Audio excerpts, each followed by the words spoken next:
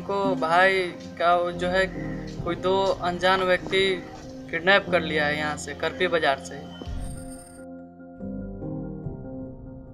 लड़का जा रहा था बीच में से बीच में से गाड़ी पर से खींच लिया।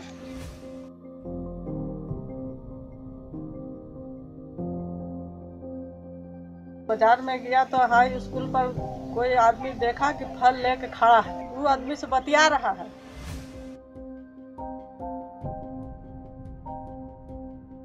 मेरा बच्चा था मनीष कुमार, जो जहानाबाद मानस विद्यालय से उन्नीस तीस दो हज़ार सोलह को परीक्षा देने गया थे। वहाँ से लौट कर वापस डेरा पर घर पर नहीं आया।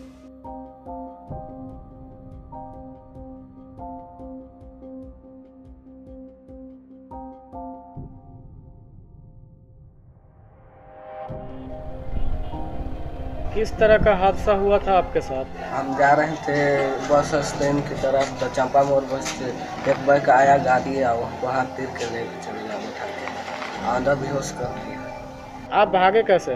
वहाँ से हाथ इस तरह से घुमा के और रस्सी खोल के भाग चुके वहाँ से। में ले गया पहाड़ी इलाका में फिर वहाँ पे हाथ खोले आँख में पट्टी बांधले था हाथ घुमा के।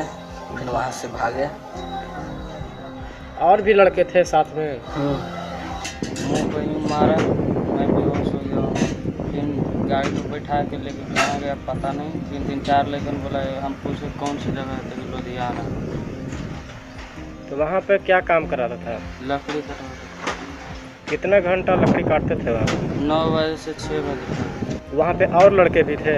हाँ आठ और कहाँ कहाँ के लड़के थे? सुल्तानपुर के आगरा के औरंगाबाद के झारखंड के। पहरेदारी में के लोग रहता था? बीस गो। तो कुछ पैसा वैसा भी देता था आप लोग को? कुछ खाना में क्या देता था? दाल भात। काम करते थे तब देता था या ऐसा भी देता था? काम करो तो देता था नहीं तो मारता था तो वहाँ पे और किसी को भी जान से भी मारा था क्या? चार गो। जान से मार दिया था? हम्म। वही बलग वाला नदी में मेरे भाई का एक दोस्त है, उसका नाम गोपाल प्रसाद शर्मा है। वही जो है, स्कूल के गेट के सामने दो अनजान लोगों से बात करते हुए देखा था। मुझे शक है कि वही दो अनजान लोग उसको किसी तरह यहाँ से ले गया है। तो 31 अगस्त को सनहा थाना में दिए। उसके बाद थानेदार ने 10-15 दिन तक हम लोग को ऐसे बहलाया कि कहीं चल गया है, कोई लड़की के साथ भाग गया है, ये वो। उसके बाद हम लोगों ने 16 सितंबर को एफआईआर दर्ज कराया।